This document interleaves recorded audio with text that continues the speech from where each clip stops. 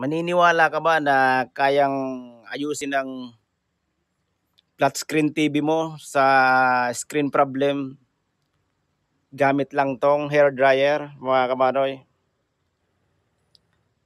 Yan o, lumang hair dryer. Tara, sige, subukan natin mga kamanoy.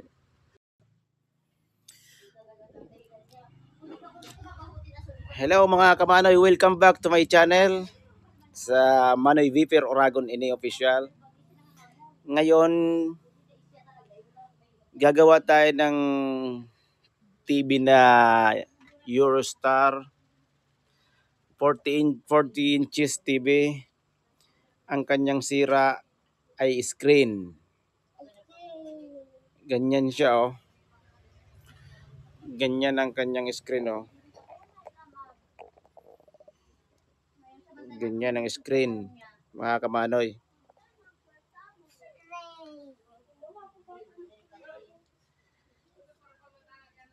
Ang gagamitin natin mga kamanoy ay itong hair dryer. Yan yung hair dryer natin oh. Titingnan natin to kung talagang effective ba tong hair dryer na to. Susubukan natin kung anong mangyayari dito sa sa ano natin na to. Volume natin mga kamanoy. Volume natin. Pindutin natin yung volume. Volume, volume. Wala siyang volume. Ngayon, pindutin natin yung volume ditong signal. Wala ring volume enter natin sa TV. is paano tayo mananahan dito sa COVID-19. So, nas nasa gera tayo. At dapat importante na we protect ourselves and we protect others. So, the vaccine is very important. And to me, it's the only solution to save lives and livelihoods and really nothing else. Yan, may sound siya mga kamano yo, pero wala siyang video. May video siya dito sa taas. Yan o. Yan ang video niya sa taas mga kamano yo. Pero yung kabuuan ng screen talagang wala. Thank you. Thank you. Okay. Tingnan natin to mga kamano ito. Itong Expert na to. Expert 2000 na to. Yan. Paanda rin natin mga kamanoy. Yan. Commander na siya mga kamanoy. Naririnig nyo, commander na siya. Iinitan natin siya dito. Titingnan natin yung, kasi dito mayroon yung connector dito na, oh, yun oh. Yun. Tingnan nyo mga kamanoy oh. yun, oh, luminaw na siya. Dito lang sa side na to. oh.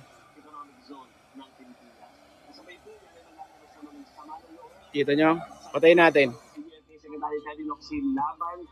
Pindutin natin tong remote. dapat raw magpaliwanag sa kanya ang NTF WPS kung bakit hindi Oh, yan. Ng grupo bago naglabas ng datos. Tingnan nyo to. Yan oh.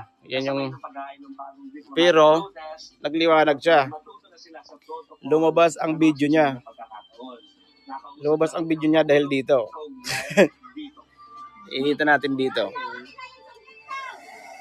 Dito. Yan oh.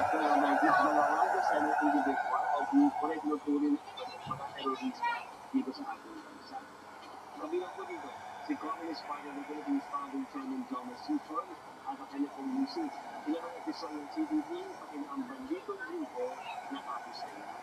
At sa isa pong pahayag, sinabi ko ni Suso na hindi Yan oh. ng CPP sa publiko. Nagtitiyak naman ng palasyo. Magsusunod ang freedom of speech para sa mga individual na recognized ang Louis Gospel. Sige, kapatid, ulang panahon Patuloy ang pananalasa ng magiging sa ng. Visayas at Mindanao. Dahil dito nakataas Yan, pa rin mga kamanoy. cyclone wind signal number 2 sa southern portion ng Surigao del Sur at May bagyo na naman pala tayo ngayon mga kamanoy.